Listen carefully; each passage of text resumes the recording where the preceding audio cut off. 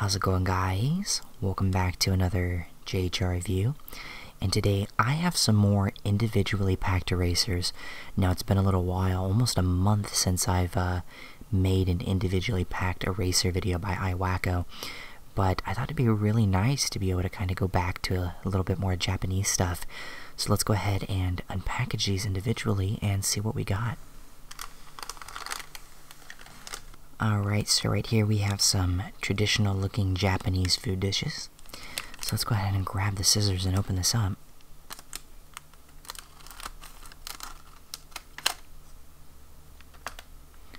Let's go ahead and slide these out.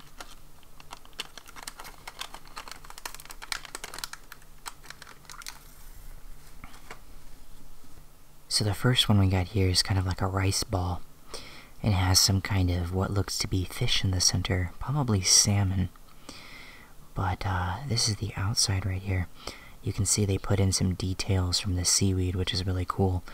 One reason I really like these individually packed erasers is how much detail they're able to pack in on these tiny little things. I love interesting engineering. So you can see all that right there and then even the individually created grains of rice. These are actually puzzle erasers if you haven't seen my videos before. Most of the time, these pieces actually come apart, so most likely, yep, you can, you see right there, you can actually take it apart. And it's a two-piece on the inside, so push it back together. And it fits together like a little kind of uh, interlocking mechanism. Pretty cool stuff. Alright, and right here it looks like we have some sort of curry dish with some uh, rice on the side. Really like the detail in the plate with the little tiny uh, marks, really makes it look like it's uh, an actual plate. We also have the two pegs in the bottom, so if we push that up, we actually can remove the rice and or also remove the curry, which I'm not going to pop that out, but as you can see it pops out. And then you can just pop it back in. So what would be really cool about this is you could actually like take the curry or that and only use those two. And as you erase with these, you could kind of like look like you're finishing your plate very slowly.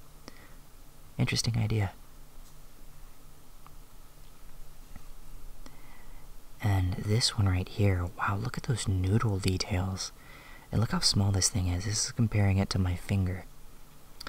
So this looks to be, um, I would assume a thing of ramen noodles. And this little thing right here, which looks to be tempura shrimp. Fried tempura shrimp. Tempura. uh, actually comes out. And I believe the noodles do too.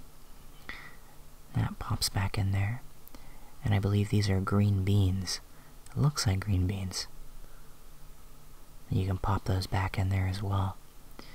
The details on this thing are insane. Look at those noodles.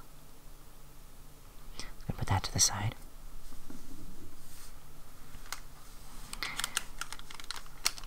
And then the next ones we got right here are some Japanese style dolls. So let's go ahead and open this up. Zoom in on there.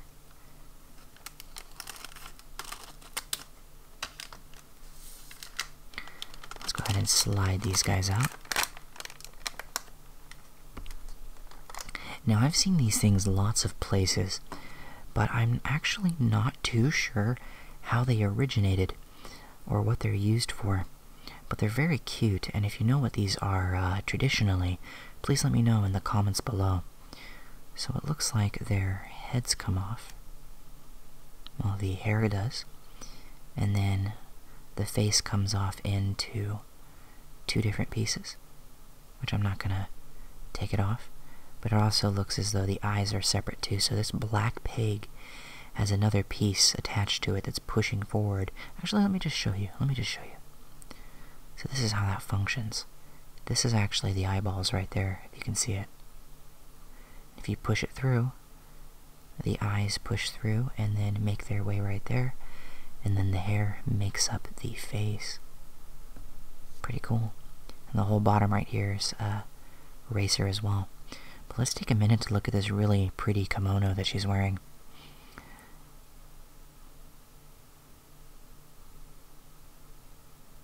Kind of has some flowers and like a greenish pink kind of gradient with a little bit of blue in there. Very nice. And since we uh, took the head off the other ones, we're not going to do that to this one. But this one is like a kind of like a pink. It has a nice red kimono with some beads. Looks like there's some fan print right there too. And this one has uh, brown hair.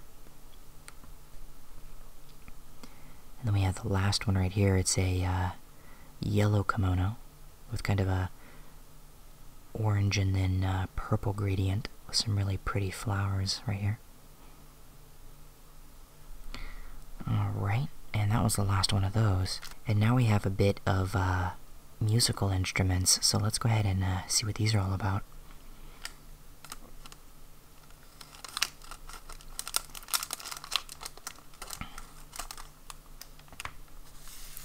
Move that to the side. Let's just push these out of here. Alright. So the first one I want to look at is the piano because I like pianos. Let's go ahead and zoom in on that. So I notice it's a little bit beat up, so eraser material, as you know, just light scratches like that with my fingernail are enough to make it kind of like turn a little bit white. So it's not really the eraser's fault. But yeah, we have the piano keys right there. Look at the details in those.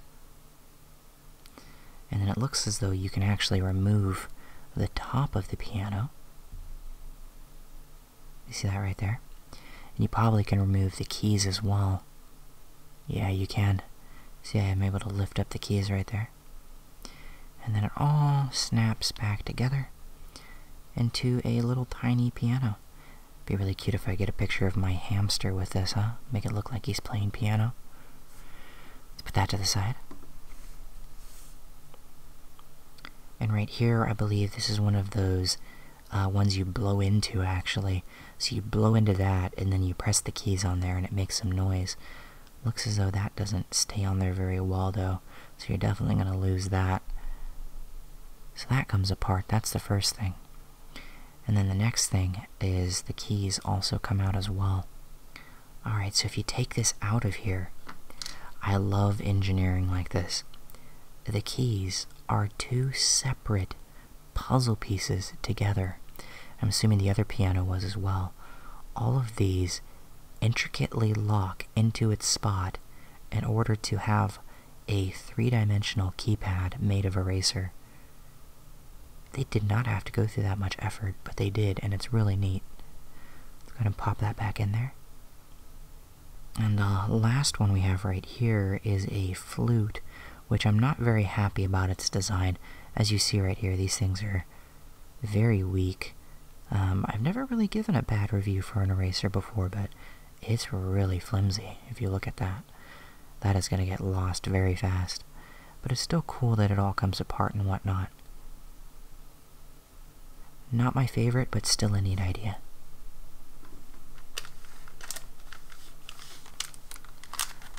Move that out of the way. And then this is going to be the last one that we do. Because I noticed that the other one I have in here, I already had reviewed that pack before. I must have double bought it. And I think I reviewed some of different ones of these. But I think that these might be slightly different.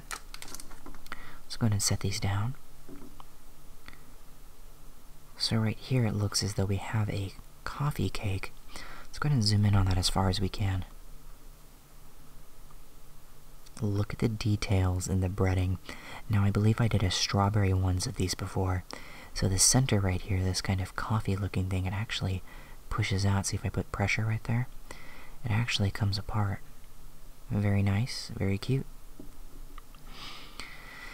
And then right here we have a biscuit, but more of an ice cream sandwich looking thing to me.